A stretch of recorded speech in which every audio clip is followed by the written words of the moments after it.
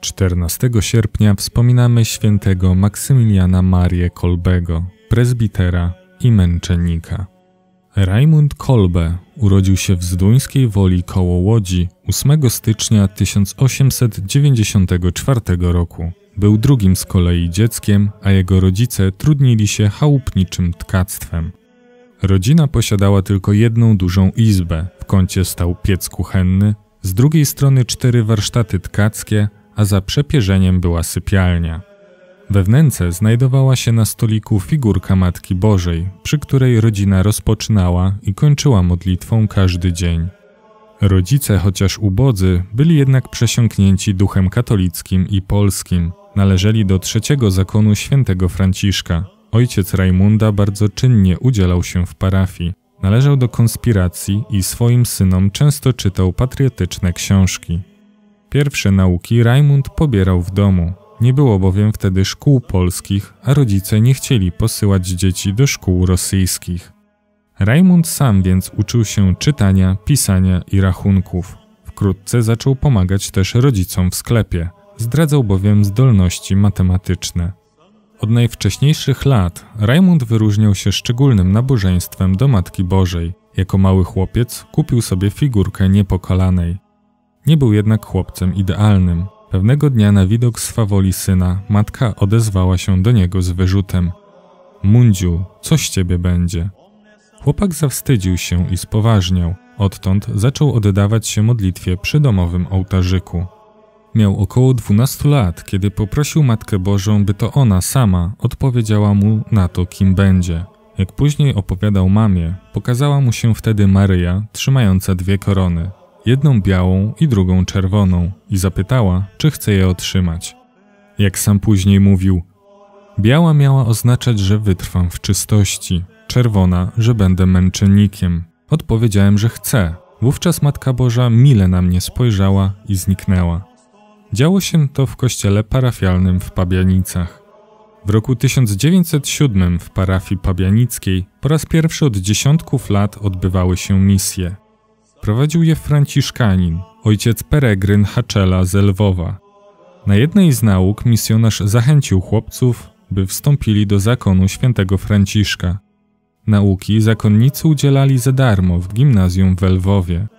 Pod wpływem przeprowadzonej misji Rajmund ze starszym bratem Franciszkiem postanowił wstąpić do franciszkanów konwentualnych. Za pozwoleniem rodziców obaj udali się do małego seminarium w Lwowie.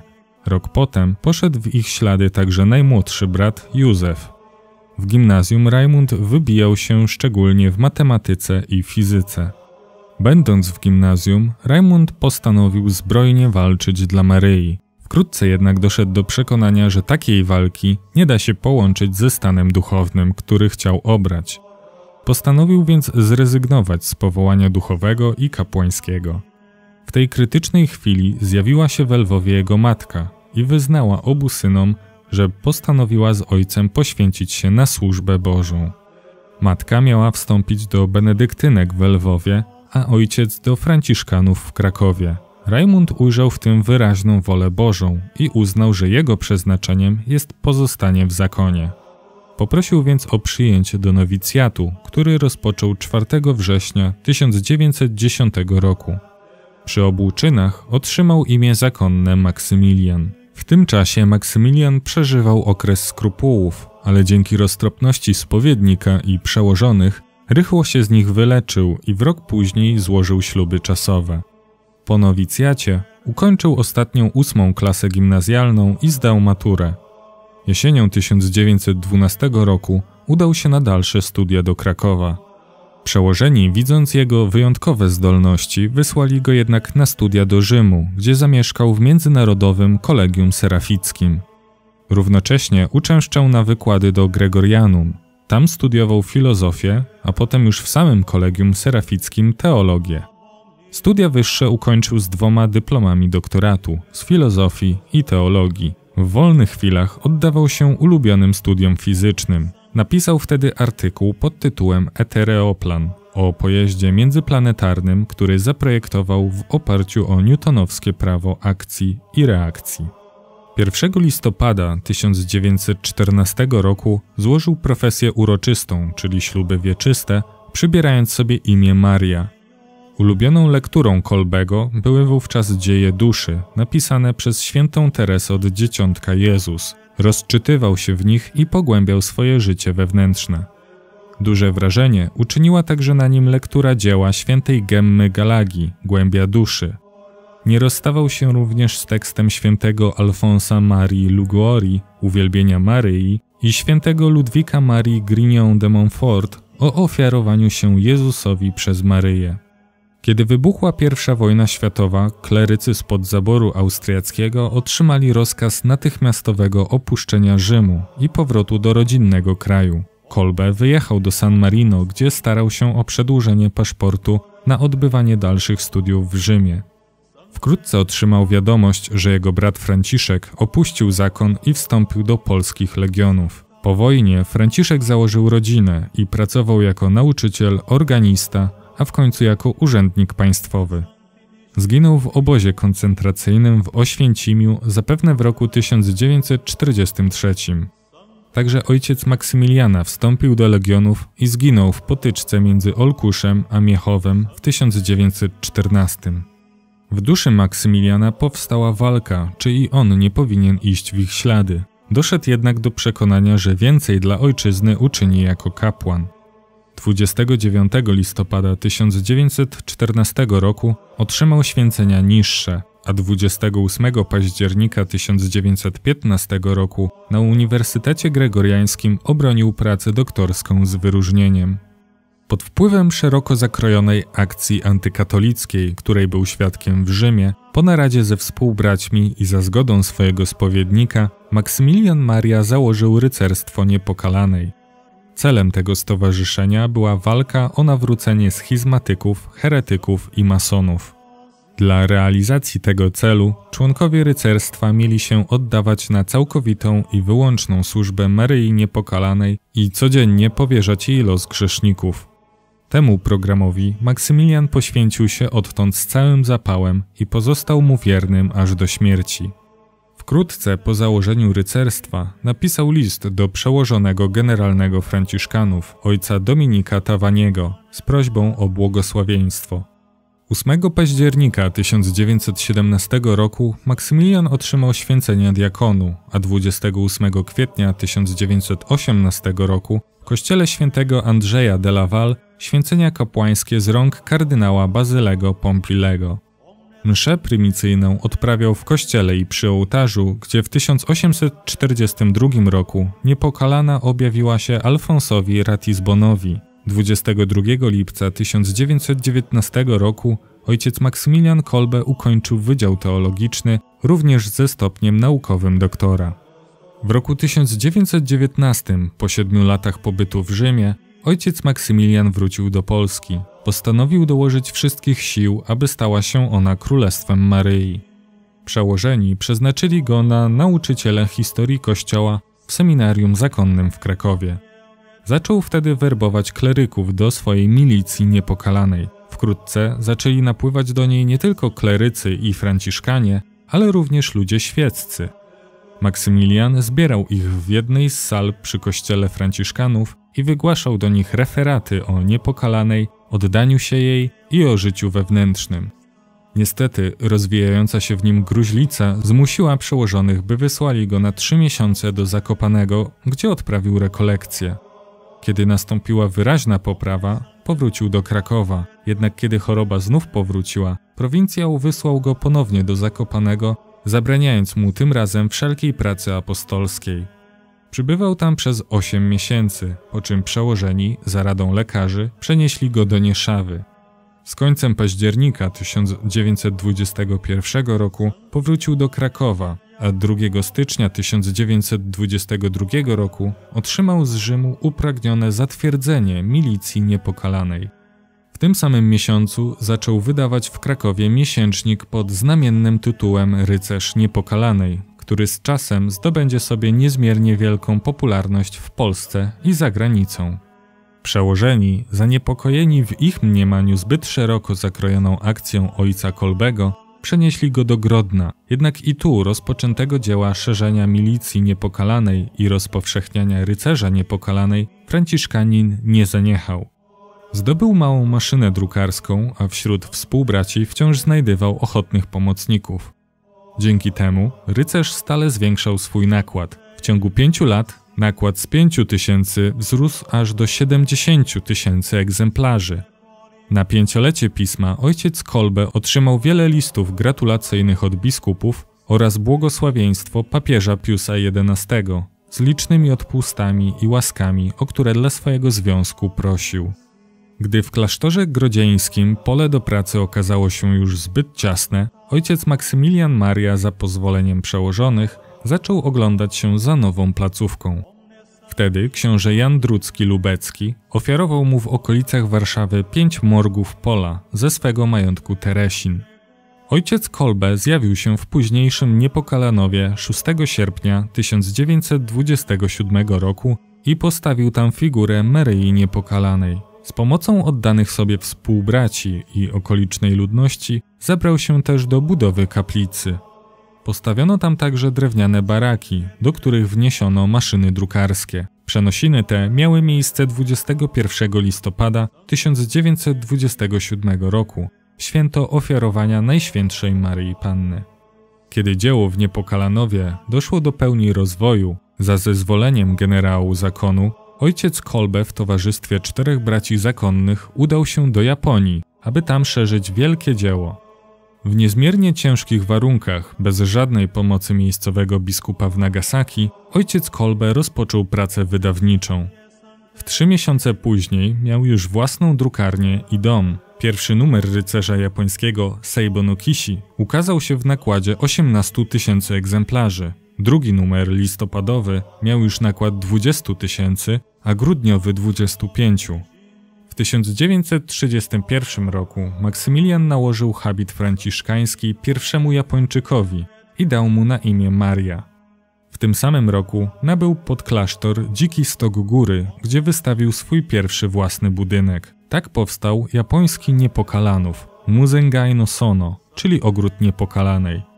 W roku 1934 poświęcono tam także nowy kościół. W roku 1936 japoński Niepokalanów był już na tyle okrzepły, że ojciec Kolbe mógł go opuścić. Po sześciu latach nieobecności ojciec Kolbe powrócił do kraju. Sława polskiego Niepokalanowa w tym czasie wciąż rosła. Co roku zgłaszało się około 1800 kandydatów. Ojciec Kolbe osobiście przyjmował zgłaszających się, lecz stosował bardzo surową selekcję, przez co średnio przyjmował około 100 kandydatów. Głównym warunkiem przyjęcia było pragnienie świętości. W tym czasie rycerz Niepokalanej osiągnął już nakład 750 tysięcy egzemplarzy, a od roku 1938 Niepokalanów miał własną radiostację. 1 września 1939 roku wybuchła II wojna światowa. Już 12 września Niepokalanów dostał się pod okupację niemiecką. 19 września gestapo aresztowało mieszkańców Niepokalanowa, którzy nie zdołali uciec na czas albo uciekać nie chcieli. W obozie tymczasowym w Lambsdorff, a potem w Amtelitz, Franciszkanie pozostawali od 24 września do 8 listopada. Było tam 14 tysięcy więźniów. Głód i robactwo dawało się bardzo we znaki. SS-mani bili więźniów i poniewierali ich.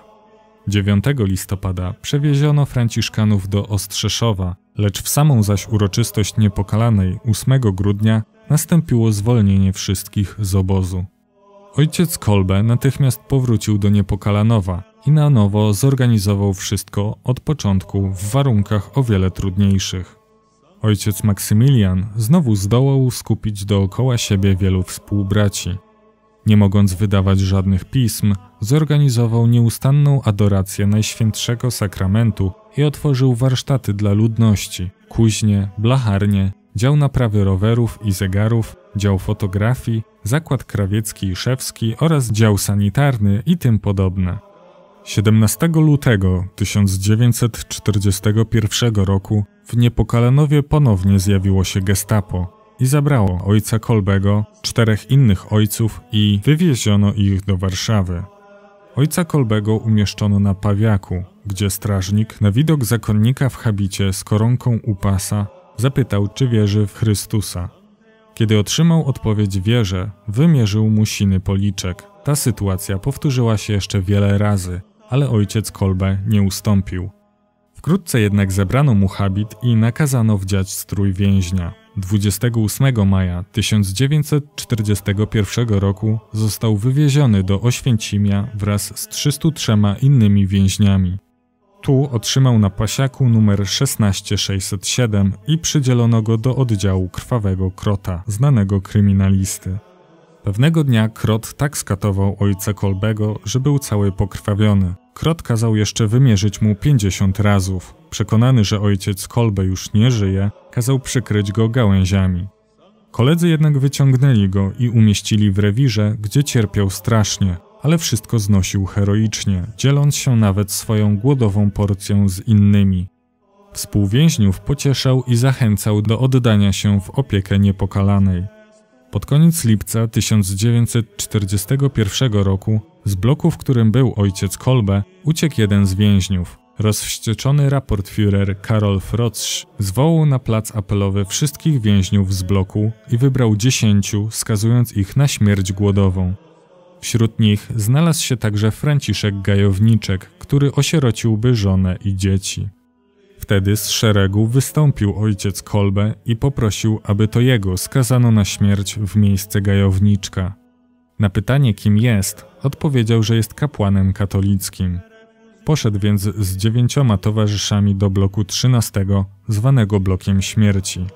Przyzwyczajony do głodu, przez dwa tygodnie pozostał żywy bez kruszyny chleba i kropli wody. Wreszcie hitlerowcy dobili go zastrzykiem z fenolu. Stało się to 14 sierpnia 1941 roku. Była to wigilia uroczystości w niebowzięcia Najświętszej Maryi Panny. Ciało ojca Maksymiliana zostało spalone w krematorium. Dzięki ofierze ojca Maksymiliana, Franciszek Gajowniczek zmarł dopiero w 1995 roku, w wieku 94 lat. 17 października 1971 roku Paweł VI dokonał osobiście w sposób uroczysty beatyfikacji ojca Maksymiliana w obecności wielu dziesiątków tysięcy wiernych z całego świata i ponad trzech tysięcy pielgrzymów z Polski. Kanonizacji dokonał 10 października 1982 roku święty Jan Paweł II. Podczas swojej drugiej pielgrzymki do ojczyzny nawiedził niepokalanów 18 czerwca 1983 roku gdzie odbyły się historyczne uroczystości pokanonizacyjne. Święty Maksymilian Maria Kolbe jest patronem archidiecezji gdańskiej i diecezji koszalińskiej oraz, jak powiedział to sam święty Jan Paweł II, jest patronem naszych trudnych czasów. W ikonografii święty Maksymilian przedstawiany jest w habicie franciszkańskim lub w więziennym pasiaku, czasem z numerem obozowym 16670 na piersi. Towarzyszy mu Maryja Niepokalana. Jego atrybutem jest korona z drutu kolczastego lub dwie korony, czerwona i biała. Módlmy się. Boże, Ty napełniłeś gorliwością o zbawienie dusz i miłością ku bliźnim świętego Maksymiliana Marię, prezbitera i męczennika, żarliwego czciciela niepokalanej dziewicy – Sprawdza jego wstawiennictwem, abyśmy dla Twojej chwały wytrwale pracując w służbie braci, w życiu i w śmierci stawali się podobni do Twojego Syna, który z Tobą żyje i króluje w jedności Ducha Świętego, Bóg przez wszystkie wieki wieków. Amen.